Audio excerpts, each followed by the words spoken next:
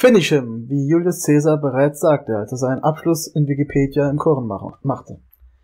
Willkommen zurück zu Mortal Kombat X. Ja, wir sind immer noch Sub-Zero, der Eismagier. Im vorletzten Kampf, glaube ich, seines Kapitels gegen den komisch, komischen Bogenschützen. Ich weiß den Namen nicht. Äh, nein, Takeda war der andere. Äh, ignoriert dieses Geräusch. Das ist nicht mein Handy, das ich vergessen habe auszuschalten und das ich jetzt schnell ausschalte. Ähm, das war eine Einbildung. Durch die Schläge auf den Kopf. Passiert mal. Äh, was ich eigentlich fragen wollte, was ist eigentlich euer Lieblings-Mortal Kombat Charakter? Unabhängig davon, welches Teil, wann man äh, ob man ihn spielen kann oder nicht. Meiner bisher war Noob Cybot gewesen. Ich fand den einfach so geil. Noob wins. äh, aber ich muss sagen, mit Mortal Kombat X ist noch ein neuer dazugekommen. Ich kann mir den Namen einfach nicht merken. Äh, Takedas Vater, der Kerl mit der Augenbinde und dem Schwert. So, jetzt weiß jeder, wer gemeint ist. Äh, genug gelabert. Geben wir dem, ich glaube, sein Shaolin-Mönch, äh, eins auf die Fresse. Mit einem Eisball. Nachdem er uns in die Brust geschossen hat.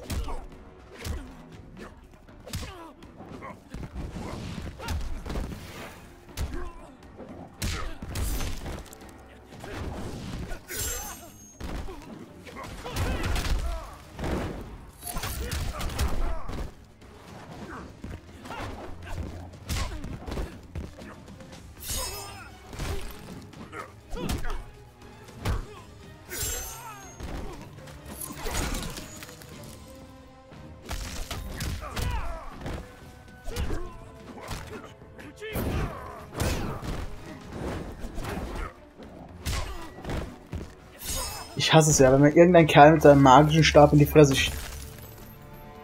Okay, das kann auch wieder leicht anders rüberkommen.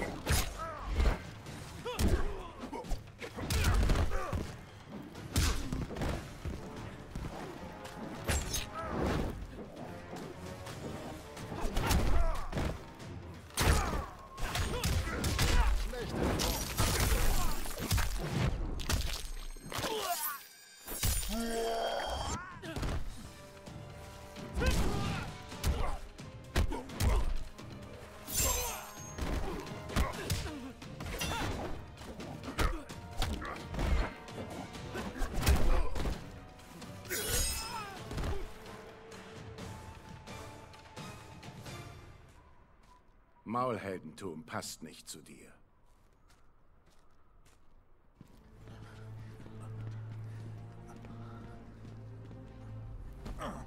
Vorschläge? Sub-Zero, reden wir.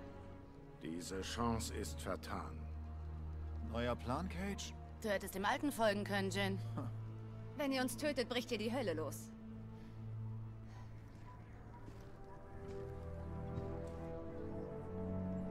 Ja, denke ich auch. Chu, Deng Jin.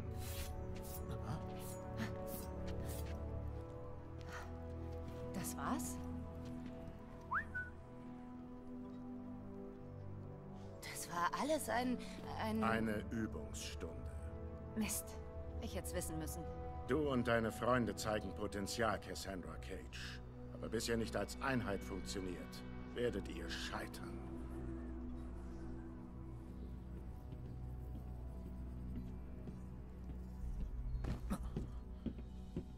Aber sonst habt ihr euren Besuch genossen? Die haben uns zerlegt. Dich vielleicht.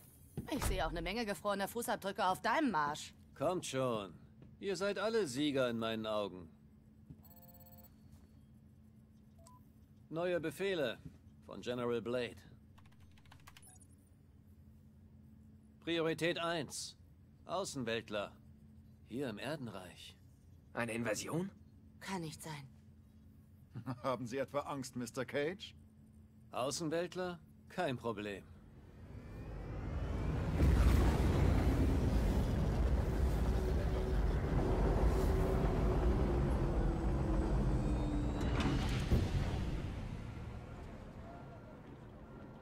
Wann sind Sie aufgetaucht?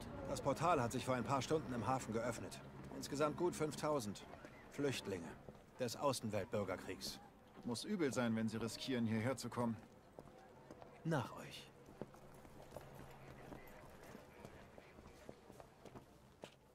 Nimm dir den Kampf mit den Lin Kuei nicht zu Herzen. Ist nicht gerade leicht.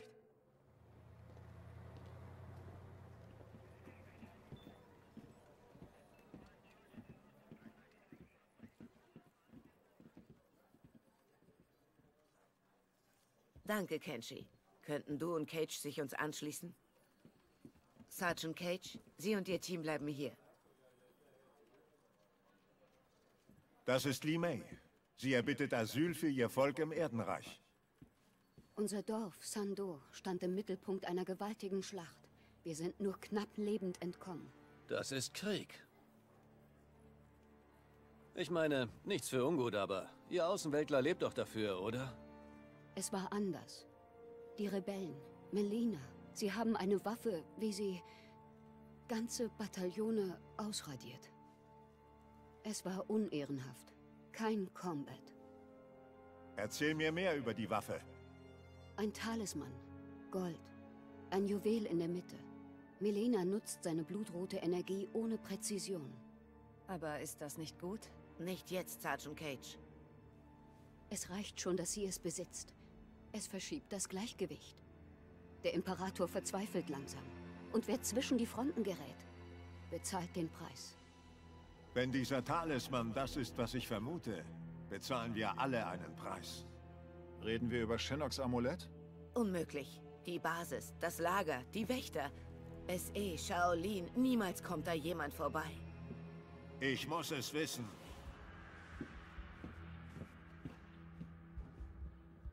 Tja, tolle Lage.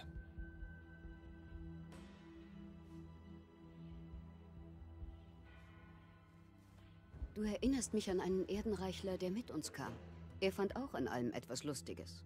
Attraktiver Kerl, hä? Er war ein Erdenreichler. Eines seiner Augen glühte rot. Wen meint sie? Kenshi, geh mit Li Mei. Ich gehe ins Flüchtlingslager. Ich muss ihn finden, bevor er abhauen kann. Ich komme mit. Du fragst Colonel Flagg nach dem Stand der Lagersicherheit. Wozu? Weil du dann nicht hier bist.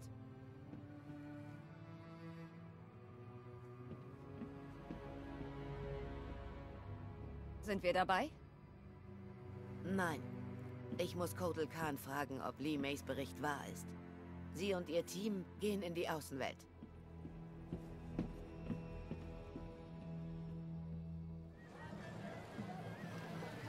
Ich weiß nicht. Hatte erwartet, dass der Himmel lila wäre oder so. Glaub nicht alles, was im Internet steht. Und was macht dich zum Experten? Die Shaolin-Archive. Ich habe viel über die Außenwelt gelesen. Kein Ersatz für Erfahrung. Wieso führst du uns dann an? Leute, bleiben wir bei der Sache. Li Mei muss einfach die Wahrheit sagen. Eine Invasion würde die Verträge von Reiko verletzen. Traue nie einem Außenweltler. Aber wenn wir Verbündete sind, warum haben sie uns nicht gegen das Unterreich unterstützt? Gegen Quan Chi und seine Gruppe von... Wiedergängern? Wie Jackie's Dad? Arschloch. Es ist keine Allianz. Ein Nicht-Angriffspakt. Wir sind nicht verbündet. Was du etwas subtiler ausdrücken solltest, in Anbetracht der Umgebung. Jetzt erklärt eure Absichten. Einschließlich dem Grund, euch nicht zu töten. Ich sehe... Du bist nicht von hier. Ich bin vom Erdenreich, wie du. Mein Auftraggeber, Kotal Khan, ist aus der Außenwelt. Daher bin ich das jetzt auch. Nennt eure Absichten. Wir sind Abgesandte. Wir müssen mit Kotal Khan sprechen. Hier. Wir haben Raidens offizielles Siegel. Ich kann sowas schnell bei dem Stand da drüben kaufen. Hör zu. Du kannst uns einsperren. Sogar töten. Aber wenn wir die Wahrheit sagen, kriegst du eine Gehaltskürzung. Oder Schlimmeres. Du bringst uns zum Khan, ich sag ihm, du hast uns erledigt. Vielleicht kriegst du einen Bonus. Win-win. Folgt mir.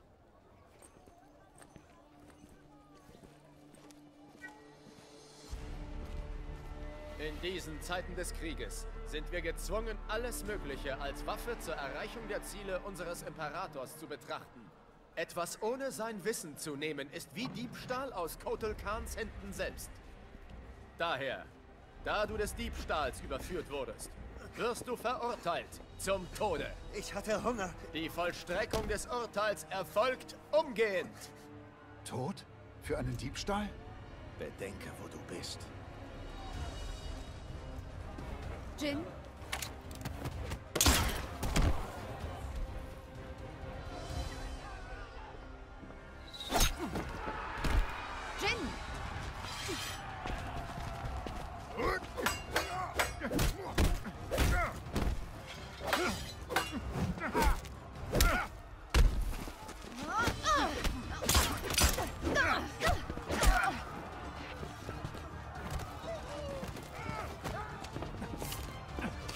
Verschwindet! Los! Ich hätte nicht auf dich hören sollen. Eine Lektion in Vertrauen. Von einem Söldner? Und gleich noch eine Lektion. Kennen wir die Stimme von Aaron Black nicht irgendwoher? Also mir kommt sie sehr bekannt vor. Moment. Der spielt bei DC einen Helden. Moment, wie hieß er nochmal? Die komische Laterne. Äh, Green Lantern. Nee. Nein, oder? Moment. Ryan Reynolds, kann das sein? Ich glaube Ryan Reynolds. Ich weiß nicht mal, ob ich den Namen richtig ausspreche, ist mir aber egal. Äh, bei X-Men Wolverine hat er den, hat er Deadpool, Deadpool gespielt und ich glaube, er spielt jetzt im kommenden Film auch Deadpool. Brian oder Ryan? Auf, je, auf jeden Fall Reynolds. Glaube ich jedenfalls. Äh, ach ja, Kung Jin. Kung Jin, der Shaolin, ist mir ehrlich gesagt völlig unsympathisch. Aber mal sehen, vielleicht macht er ja eine Charakterentwicklung durch.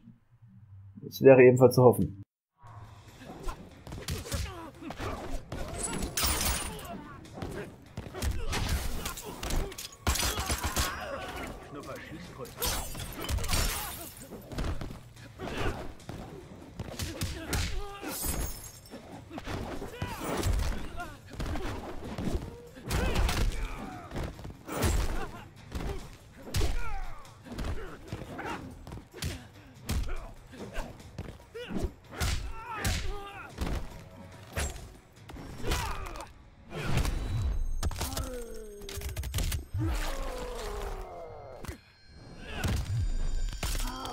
Auf jeden Fall ein geiler X-Way.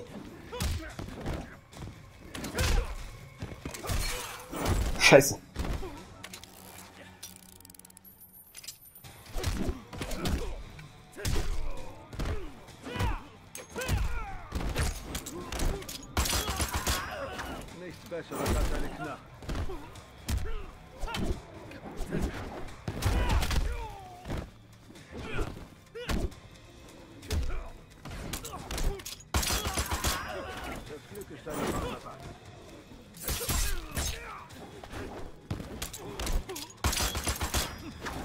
Deine neuen Löcher?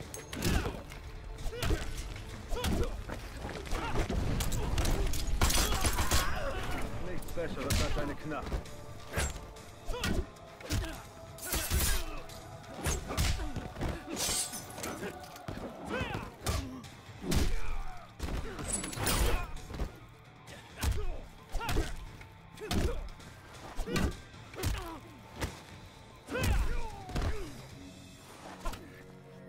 Boah, also die Steuerung mit Kung Jing ist wirklich alles andere als, äh, ja, leicht.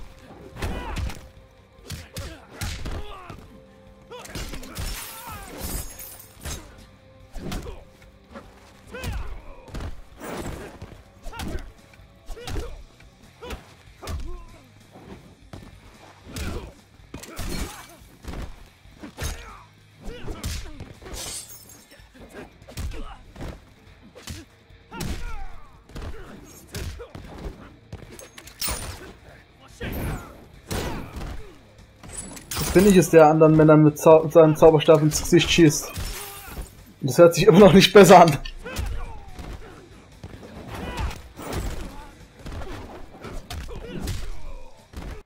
Boah, harter Kampf.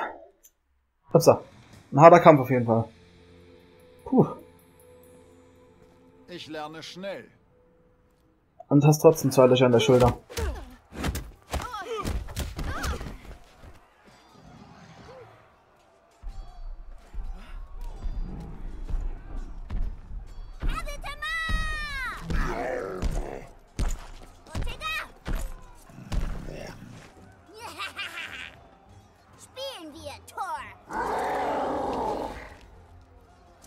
Sie sich nicht wie jedes Mädchen ein Pony wünschen können?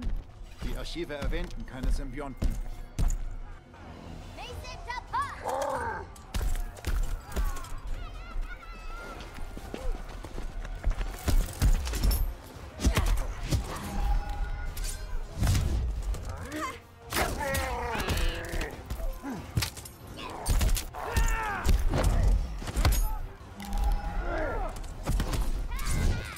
Das erinnert mich etwas an das Queen Arrow Minispiel aus Injustice.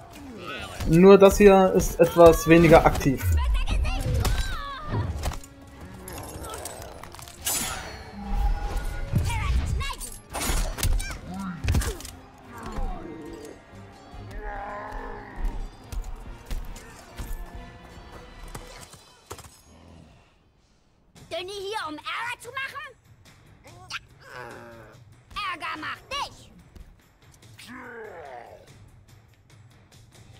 Also im Video sah der Kerl größer aus.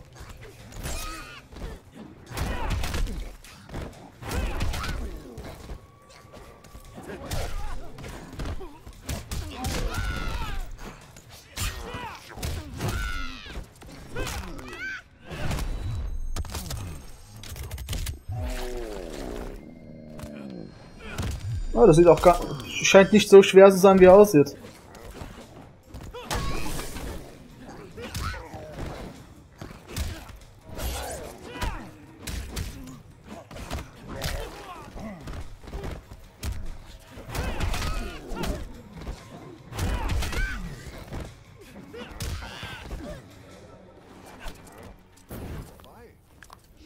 Ein prima Feuerzeug.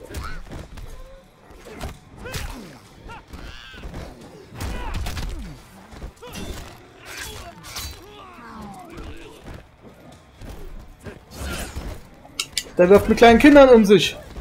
Wenn ich das gemacht habe, hat es immer Ärger gegeben.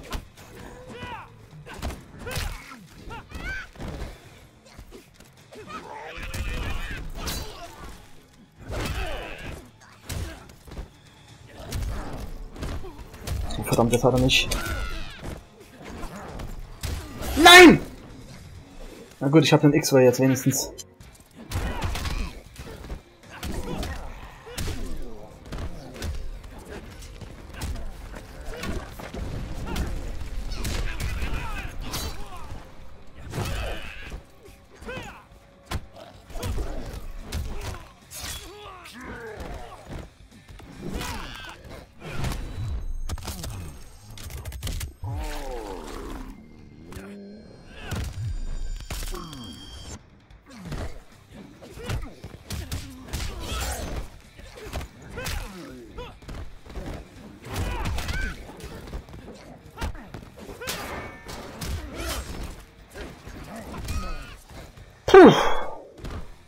So, also einen weiteren Kampf kriege ich nicht hin in dieser Zeit. Und ich würde es auch blöd finden, jetzt die äh, Cutscene laufen zu lassen und dann den nächsten, also, jo, ihr, ihr wisst, was ich meine. Cutscene, dann nächster Kampf und dann Kampf pausieren, das wäre blöde. Machen wir hier einen Cut. Ist ja auch nur knapp eine Minute weniger. Ich glaube nicht, dass mir deswegen jemand den Kopf abreißt. Allerdings sind wir bei Mortal Kombat, daher könnte etwas anderes abgerissen werden, was mir genauso viel bedeutet. Lange Rede, kurzer Sinn, danke fürs Zuschauen und ich hoffe, wir sehen uns beim nächsten Mal bei Mortal Kombat X, wenn es wieder heißt, heißt, genau, wenn es wieder heißt, finishen.